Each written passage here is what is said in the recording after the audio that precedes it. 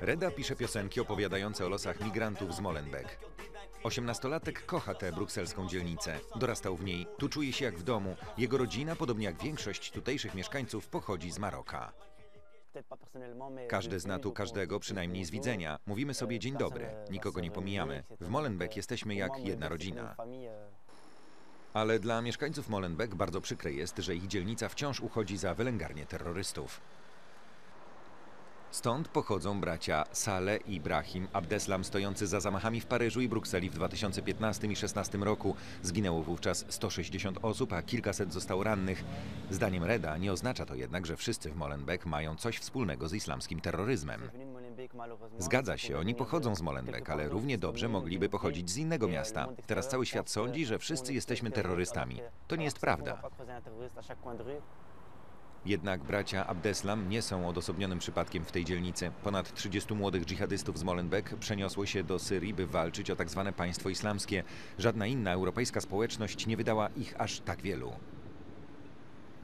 Taksówkarz Kais Bumaiza mieszka tu od 19 lat. Jest przekonany, że niebezpieczeństwo nie zostało zażegnane. Młodzi w każdej chwili mogą znowu się zradykalizować. Idziemy do dawnego warsztatu samochodowego, który służy teraz jako dom modlitwy. Afgański styl, kaptury. Nasz operator nie jest tu mile widziany. Zdaniem Kaisa, tu wciąż indoktrynuje się młodych ludzi i głosi krytykę zachodniej demokracji. To są słabe punkty Europy. Szczerze mówiąc, Europa jest słaba, ponieważ wy, Europejczycy, nie macie odwagi narzucać swoich wartości. Boicie się. A ci ludzie na tym zyskują. Robią co chcą, radykalizują innych i popełniają zbrodnie.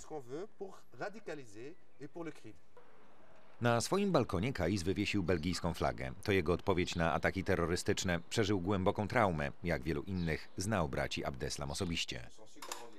Od czasu ataków próbuje pomagać policji i ostrzega władzę, ale nikt go nie słucha. Politycy nie likwidują islamskich domów modlitwy, bo obawiają się posądzenia o rasizm, uważa taksówkarz. Nie chcą przyznać, że Belgia i w ogóle cała Europa ma poważny problem z terroryzmem. Obawiają się, że niektórzy nie będą zadowoleni. Chcą wszystkim dogodzić, a to nie jest możliwe. Tego samego zdania jest pracownik socjalny z Centrum Młodzieży La Foyer.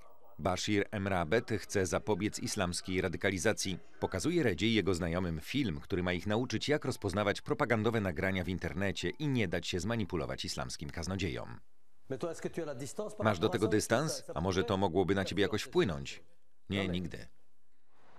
Odkąd ISIS straciło w Syrii swoje tereny, a tym samym i swoją atrakcyjność, w Molenbeek jest znowu spokojnie, przyznaje Olivier van der Heygen, pełnomocnik do spraw równego traktowania. Jego zdaniem młodzi muzułmanie radykalizują się, bo nie mają równych szans w europejskiej ojczyźnie.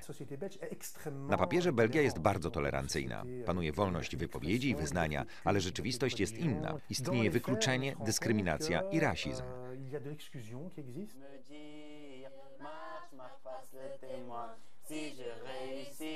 Tę piosenkę Reda napisał wspólnie z przyjaciółmi. Śpiewają o tym, jak trudno jest w tym społeczeństwie znaleźć miejsce dla siebie.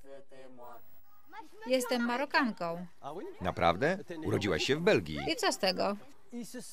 Oni żyją w rozdarciu. Kiedy gra belgijska reprezentacja narodowa, wszyscy są dumni z czerwonych diabłów, ale ich tożsamość nie jest jeszcze stabilna. Jest wiele niejasności, często nawet nie są postrzegani jako Belgowie, a to nie pomaga. Zaledwie kilka kilometrów dalej znajdują się instytucje Unii Europejskiej. Dla młodzieży z Molenbeek to zupełnie obcy świat, o którym niewiele wiedzą i który ich nie interesuje.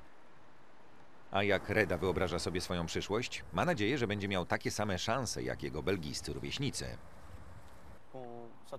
Twoje pochodzenie nie powinno mieć znaczenia. Wszyscy powinni być traktowani jednakowo. Każde zdanie się liczy. Powinniśmy wspólnie podejmować decyzje.